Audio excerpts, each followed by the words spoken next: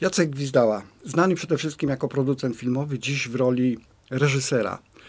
Będziemy rozmawiać, chciałbym, żebyśmy porozmawiali o najnowszym filmie. Filmie, który nosi dosyć niejednoznaczny tytuł Klecha.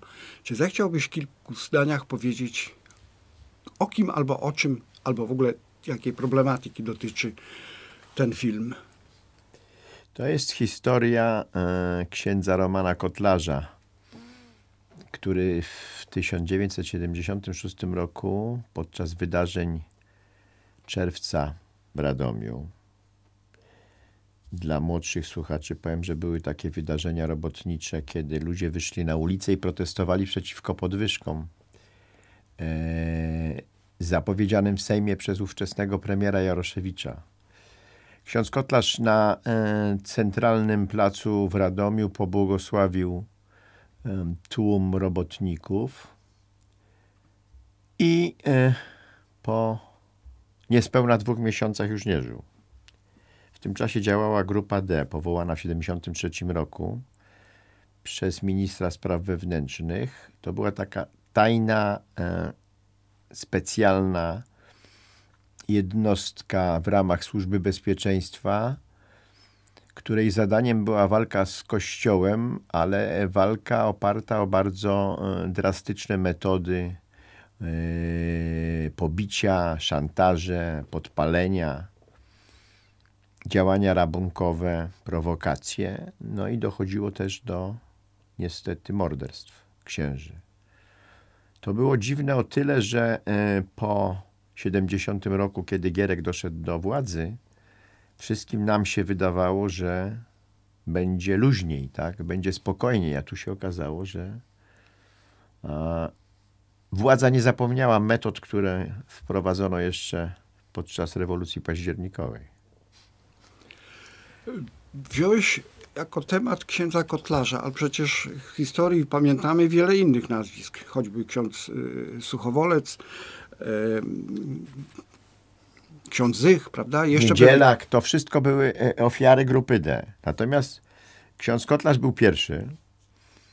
E, ksiądz Kotlarz był, e, jak ja to określam, pierwszą sutanną na proteście robotniczym w Polsce. Nie było księdza w sutany, nie. Mm, w 56 roku w Poznaniu, nie było w 70 roku w Gdańsku. Pojawił się w Radomiu ksiądz e, proboszcz z podradomskiej parafii wiejskiej z Pelagowa e, i kompletnie, to było kompletne zaskoczenie mm, dla wszystkich, którzy w tym czasie interesowali się, że tak powiem, problematyką opozycyjną, chociaż wtedy nie było jeszcze ani koru, ani Solidarności. I ten ksiądz był sam, tak? On nie miał żadnych struktur zaplecza, natomiast znany był z bardzo ostrych kazań e, mówiących o e, historii Polski. Przede wszystkim o tej historii, której nie uczono w szkołach wówczas. I był inwigilowany prześladowany przez służbę bezpieczeństwa już wcześniej, już od czasów seminarium. Musimy pamiętać, że wtedy też w kościele było dużo e, e, współpracowników, tajnych współpracowników e, Służby Bezpieczeństwa, którzy byli rekrutowani już podczas czasów seminarium duchownego, kiedy klerycy mm, na przykład wjeżdżali na wakacje, docierali do nich agenci SB i, i, i próbowali ich namówić na współpracę. Wobec tego powiedz, dlaczego akurat ten bohater? Dlaczego znalazłeś, czy inaczej, jak znalazłeś i dlaczego tego bohatera wziąłeś za jakby główną postać swojego filmu? Iż to jest główna postać. Znaczy ja znalazłem, e, e, e, on mnie znalazł w, 70, w 96 roku, kiedy produkowałem tryptyk o wydarzeniach radomskich. Miasto z wyrokiem. Pierwszy raz o nim usłyszałem. Potem wyprodukowałem film dokumentalny już, o, e, którego bohaterem był ksiądz Kotlarz i cicho ciało spocznie w grobie. Przypomniał mi się, tak mogę powiedzieć, e, trzy lata temu, kiedy już reżyserowałem film Kamień. O pamięci, a bardziej o niepamięci o tych wydarzeniach, bo, bo, bo musimy powiedzieć, że w historii Polski te wydarzenia zostały jakoś zamazane i nawet dzisiaj y, y, mm, pamięć o nich i informacje o nich nie docierają y, y, zbyt szeroko. To jest postać kompletnie nieznana w Polsce. To jest postać, która e, dała wskazówkę, myślę sobie, jak e, e, Kościół powinien postępować w przypadku e, protestów robotniczych.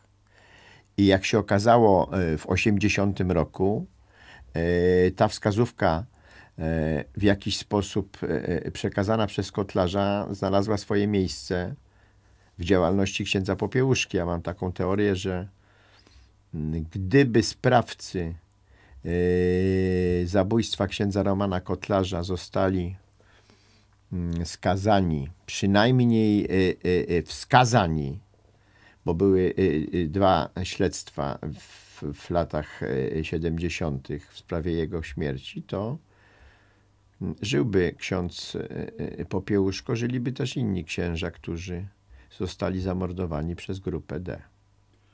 Czy to można przeprowadzić taką prostą, prostą linię, że udział księdza w wydarzeniach, czy inaczej, w tym proteście, jak powiedziałeś, pierwsza sutanna w czasie robotniczego protestu, czy jest prosta zależność między tym momentem, a tym jego śmiercią? Jest bezpośrednia, to, jest, to, to była e, e, przyczyna e, jego śmierci, spotęgowana kazaniami, które głosił po tym proteście, bo musimy pamiętać, że e, on był e, z mojej wiedzy jedyną postacią e, e, w kościele w tamtym czasie, która upominała się wprost z ambony o prześladowanych, aresztowanych i skazywanych w e, fingowanych procesach e, robotników radomskich. I to e, spowodowało, że mm, e, zginął po prostu. E, Takie jego e, e, bardzo mocne kazanie z 11 lipca e, spowodowało to, że 18 sierpnia już nie żył.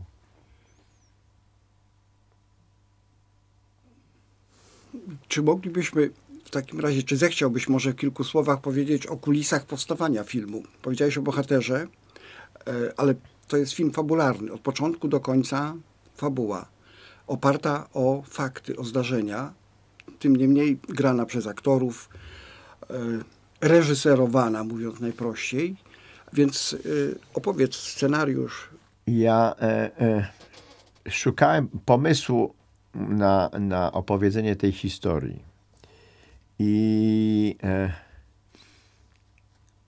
mm, znalazłem książkę pod tytułem Powiedzcie swoim. To taka powieść na poły dokumentalna Wojciecha Pestki, pisarza z Podradomia. E, po jej przeczytaniu e, spotkałem się z, z Wojtkiem i wspólnie e, zaczęliśmy pracować nad scenariuszem. W tej powieści y, y, y, jest postać mistrza, e, domniemanego szefa grupy D, którą to postać Wojtek Pestka stworzył e, e, z kilku autentycznych postaci, z którymi prowadził rozmowy. On, on prowadził dużo, dużo rozmów z mm, byłymi funkcjonariuszami tej grupy D i stworzył postać mistrza. I ta postać mistrza jest również w filmie. Odtwarza ją Piotr Franceski.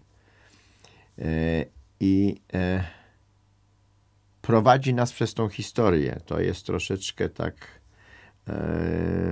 być może kontrowersyjny pomysł, że były esbek opowiada o, o księdzu, który ma zostać świętym, bo warto dodać, że 1 grudnia został mm, rozpoczęty proces beatyfikacyjny księdza Romana Kotlarza.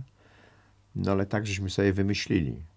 Y, Mirosław Baka e, odtwarza księdza e, Romana Kotlarza. Oni tylko raz w filmie się spotykają w latach 70., a e, narracja e, e, em, Franceskiego, czyli mistrza, jest prowadzona współcześnie. Czy wobec tego należy traktować ten film jako współczesny? Ja to po, pozwolę sobie tu na pewną dygresję. Lata 76, rok 76 dokładnie mówiąc, bo ksiądz Kotlarz żył bardzo krótko. Znaczy inaczej opowiem, historia opowiadana w tym filmie to jest kilka miesięcy z życia księdza Kotlarza w roku 76. Z dzisiejszej perspektywy to jest film historyczny, ale pokazuje sprawy i zdarzenia ciągle nie do końca rozwikłane, czy może inaczej, nie do końca uświadomione. Więc w tym sensie jest to film współczesny. Tu po, po, posłużę się cytatem pewnego klasyka kina, który powiedział, jeśli robię film o zdarzeniach, które są nie do końca wyjaśnione, to tak jakbym robił kino współczesne. Czy ty miałeś poczucie, robiąc ten film, że robisz film historyczny, czy że robisz ten film, no jednak, jednak, jednak tu i teraz, tu, tu teraz dla nas? Znaczy, oczywiście, że robiłem tu i teraz dla nas. Ten, ten film, on, on w jakiś sposób rozgrywa się na, na, na wielu płaszczyznach, tak? I, i, i, i czasowych, ale też ta narracja e, e, e, zdarza się, że, że e, odnosi się do, do współczesności. Musimy pamiętać, że niektórzy z funkcjonariuszy tych, tych najwyższych grupy D byli bardzo dobrze wykształceni. To byli ludzie, którzy zanim trafili do e, służby bezpieczeństwa, kończyli dobre e, uniwersytety, znali, znali języki, a ci, którzy e, walczyli z Kościołem, byli jeszcze e, specjalnie do tego przygotowani. Znali Pismo Święte, Biblię, potrafili cytować e, po łacinie jej fragmenty, znali dokładnie liturgię. Zdarzały się sytuacje, że działali również pod przykryciem, to znaczy potrafili przebrać się w sutannę i inwigilować pielgrzymów w Częstochowie. Jest taka scena w filmie. Ale działania służb z tamtych czasów przekraczały jak gdyby logikę tego, co się w Polsce działo. I to mnie, to mnie bardzo zainteresowało, ponieważ my jesteśmy w podobnym wieku. Nigdy byśmy nie podejrzewali, że istnieje tak, taka, taka grupa, która może zabijać księży po prostu. Mówmy sobie wprost, tak? W czasach stalinowskich, tak, jeszcze wcześniej, to, to, to myśmy o tym wiedzieli, tak, ale o tym, że może się zdarzyć sytuacja, że przychodzą na plebanie nieznani ludzie i, i biją księdza do nieprzytomności. Dla mnie to, to, to, to nie do pomyślenia. Okazało się, że, że, że, że, że jednak to jest prawda. No i co jest najbardziej e, e, e, przykre w tej historii, że e, poza zabójcami księdza Popiełuszki, pozostali sprawcy nigdy nie zostali wskazani i nigdy nie zostali osądzeni. A musimy pamiętać, że pierwsze archiwa, które płonęły w archiwach Służby Bezpieczeństwa, to właśnie były archiwa grupy D. Czyli film, będąc, sięgając w przeszłość, jest ciągle aktualny. Znaczy problem, inaczej powiem. Problem jest aktualny, bo problem, bo, bo, bo, bo, bo tego nikt nie wyjaśnił, tak? Nikt nie mm, wskazał palcem do dzisiaj winnych tych, tych zbrodni. No i specjalnie nikt się tym nie interesuje. Wobec tego liczymy na to, że Twój film może spotka się z zainteresowaniem publiczności, a to może spowoduje, że temat odżyje, jeśli w ogóle, jeśli w ogóle mamy mówić o tym, że mm, świat jest oparty na prawdzie, bo może, może, może, może, to, może to nie jest konieczne. Znaczy, ja powiem tak, że